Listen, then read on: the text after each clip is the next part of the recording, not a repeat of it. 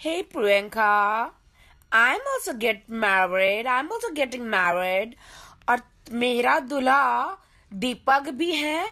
और ये देखो ये भी सबसे छोटा दूल्हा है तुम्हारे से भी तुम्हारा जो दूल्हा है ना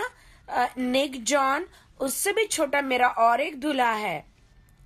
Priyanka we have a competition